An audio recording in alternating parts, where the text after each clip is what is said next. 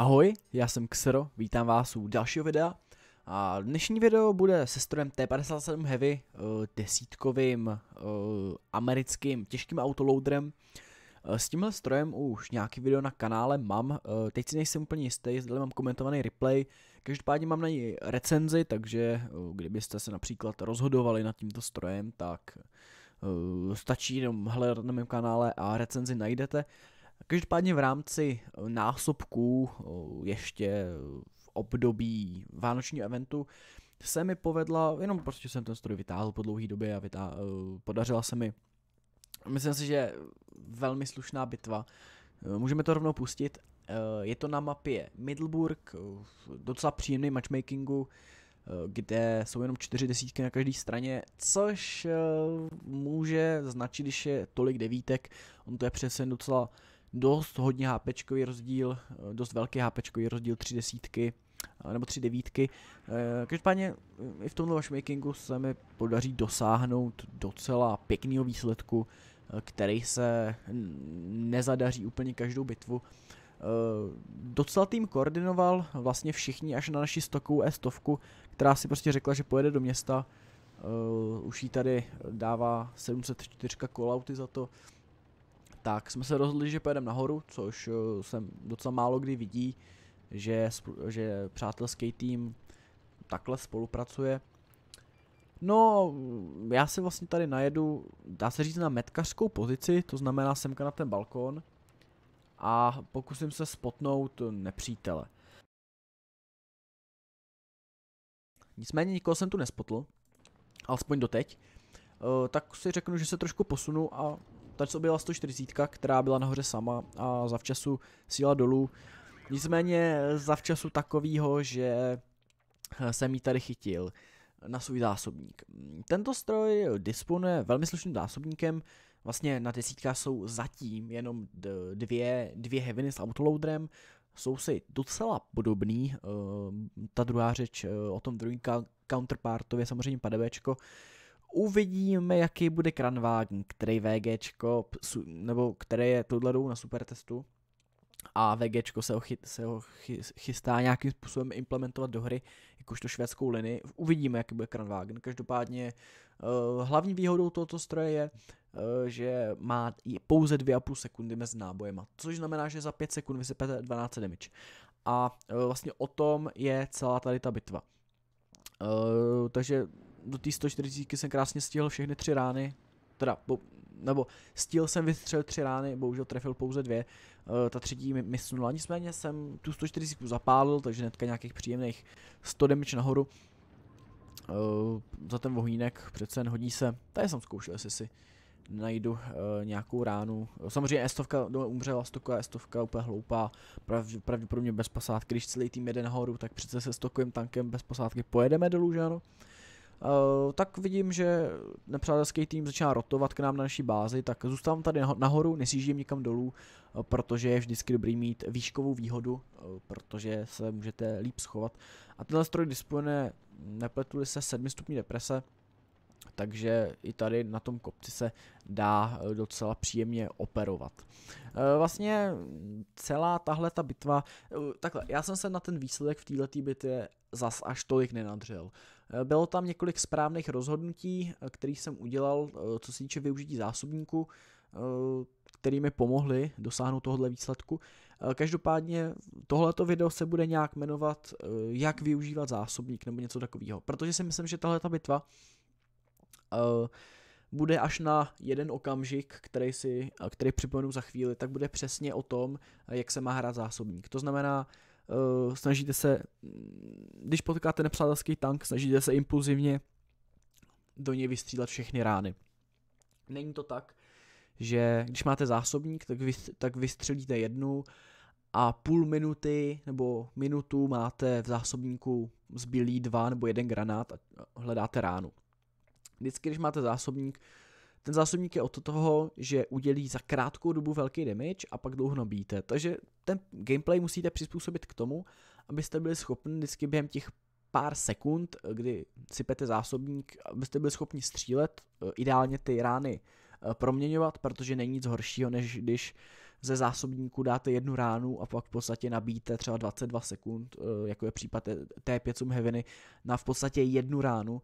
Eh, takže mm, tato bitva bude přesně o tomhletom. Eh, takže tady jsem zabil ST, a tady vlastně bude ten jediný moment, kde jsem si nechal jednu ránu na tu 140, protože jsem věděl, že bych nestihl ani zdaleka přebít celý zásobník, tak jsem tady ty 140 jsem poslal teďka jednu sneaky ránu. Sejdu si tady dolů, aby na mě nemohla logicky. No, zatím to vypadá docela dobře, vyhráváme na skóre, 140 ještě poděkovala za to, že eh, jsme ji zabili, což zajímavý. Zatím mám pouze 2000 damage, ale věřte mi, že tady damage ještě naroste a naroste docela hodně. Eh, tady se objevilo ST, tak eh, já si říkám, jako, že bych ho mohl kliknout. Dead Stara vystřelila, nic neudělala, to znamená, že já tady eh, budu schopný kliknout ST. Eh, všimněte si pozorně těchto těch rolů eh, na to ST. Tohle dílo je 120, je to úplně stejný dílo, jako má T5 Heavina, akorát v podstatě převedení do zásobníkového charakteru. První roll byl, nepletu se, 334, druhý roll 379 a třetí roll 300. Uh, takže to znamená, že jsem dal zhruba, zhruba uh, tisíc damage na zásobník.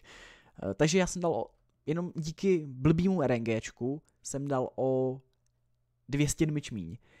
Kdybych aspoň, kdybych si dal, kdyby mi jedna rána byla o 20 damage větší, tak ten závěrečný výsledek je ještě o něco hezčí. Ano, takhle, takhle blízko to bylo, uh, vlastně rozdíl té hranice toho damage. Takže tadyhle jsem jako docela byl nepříjemně překvapený z toho, že jsem dal uh, na zásobník nějakých tisíc odhad, jo, 1020 místo, místo 1200. Každopádně ST bylo doraženo naší 704 a si sypuje pětku. Uh, tady se mi to vrátilo, když jsem dal na vykřišník 500 damage, uh, nicméně Hol, ten zásobník do ST fakt nebyl něco, co chcete, aby se vám se zásobníkem stávalo. Uh, a opět jo, do toho ST jsem dal plný klip, přebíjel jsem, do E5 jsem dal plný klip, přebí, při, přebíjím si. Teďka zase tu objeví E4, já se můžu klidně nechat trefit, protože doteď jsem měl full HP, vysypu si E4, uh, koukám kolem sebe, uh, vidím, že tam je IE7 s Dead Starou, a jenom chci najít toho Tortoise, což se mi taky povedlo, on mi nestihl dát ránu, já jsem ho zabil. Uh, 5200 damage mi to ukazuje necelých, nicméně byl tam ten zápal, takže 5257. No a nyní uh, si, to po, si to pozastavíme.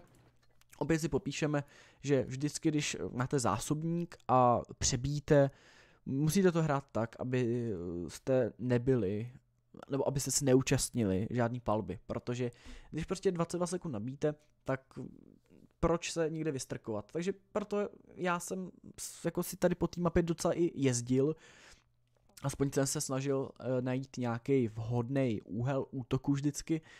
Uh, myslím si, že se mi to docela dařilo. A teďka tady si všimněte, ta Death Stara měla ještě před chvilkou 1000 HPček a ta IS-7 ji docela slušně sesekala. A ta Death Stara uh, ho cinkla už jednou tu, nebo jí cinkla už jednou tu IS-7 a nepletuli se, tak tu i7 cinkne ještě, ne, tak tím pádem tu i7 už cinkla dvakrát.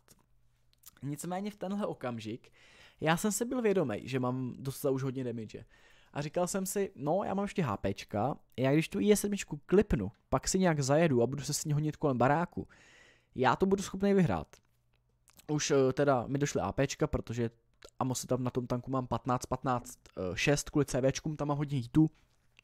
Vzem tam kalibrovky, to znamená, že ty APčka docela fungují, APčka mají kolem 270, uh, hity kolem uh, 370 taky, takže to je hodně slušný.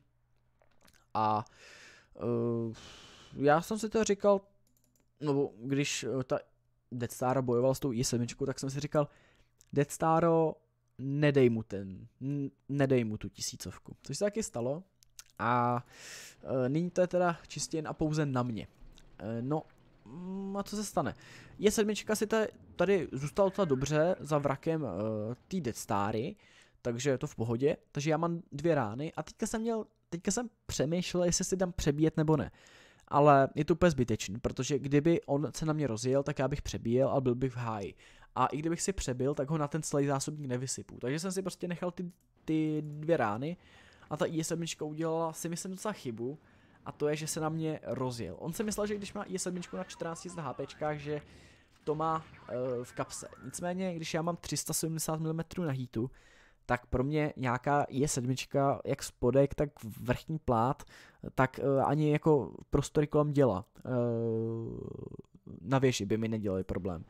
Takže jsem ji tady vyklipal, vyklipoval a ona na mě najela. Jinak všimněte si, on mě zramoval a ubral si v podstatě třikrát tolik, než dal mě. To mě docela překvapilo.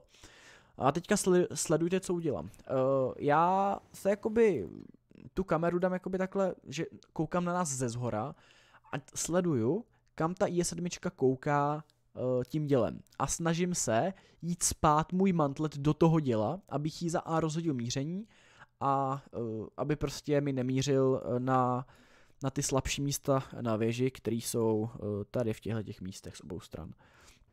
Což se mi taky povedlo, uh, ona mě cinkla právě, nebo trefila mi to dělo, to znamená, že mi dala za nula, poškodila mi dělo, ale já jsem měl ještě opravy. Opět zramoval se za dvojnásobek toho, co, co zramoval mě, což bylo jako zajímavý. Tady pade 120 mi, mi tady říkají, že you can, takže to můžeš vyhrát.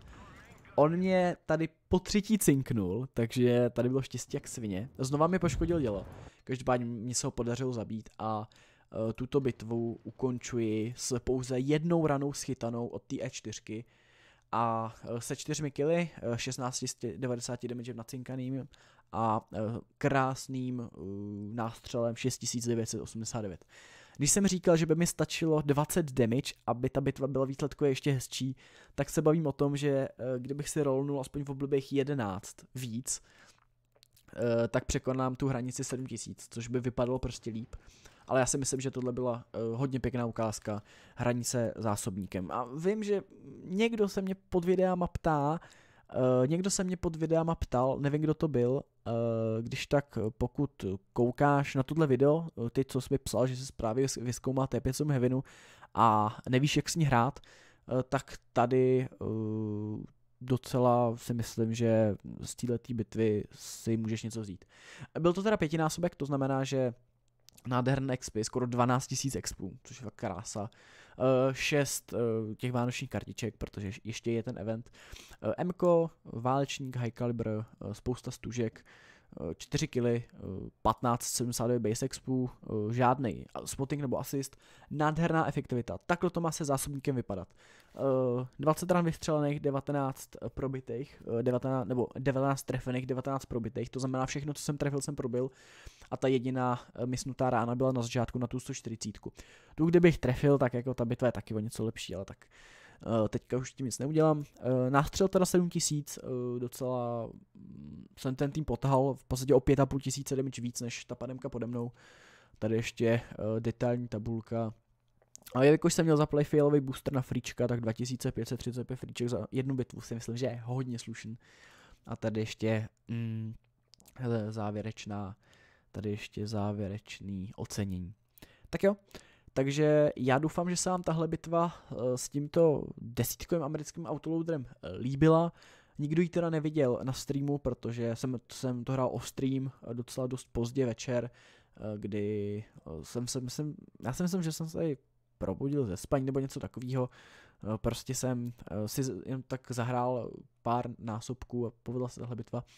Takže doufám, že se vám video líbilo. Pokud ano, budu rozhodně rád, když ohodnotíte video palcem nahoru. Eh, budu taky hodně rád, eh, když budete odebírat tento kanál, aby vám neunikla další videa z mé tvorby. Eh, tím se bavím taky o streamech, protože když kliknete na zvoneček vedle tlačítko odebírat, tak vám přijde notifikace. Kdykoliv uploadu nové video, nebo právě když zapnu stream a streamu teďka u sebe na YouTube hodně, takže doporučuji sabovat a zapnout si ty notifikačky, protože ty streamy jsou někdy docela sranda, jsou docela zajímavý a někdy na nich nehraju i úplně špatně. Budu moc rád, když video sdílíte, aby se na tuhle bitvu podívalo co nejvíc lidí, protože si myslím, že opravdu stál za to. Tak jo, to už je všechno. Uh, já děkuji, že jste zkoukli 15-minutový komentovaný replay, nicméně jsem se o tomhle, uh, o téhle bitvě chtěl trošku rozkecat, uh, protože si myslím, že je docela dobrý uh, zmínit pro třeba ne tak dobrý hráče, jak využívat efektivně zásobník. Uh, takže za to se omlouvám, ale já si myslím, že uh, tohle video si najde své příznivce. Tak jo, uh, já už to nebudu dál protahovat. Já jsem Xero, mějte se moc hezky a u nějakého dalšího videa uh, nebo streamu uh, se na vás budu těšit. Zatím se mějte a ahoj.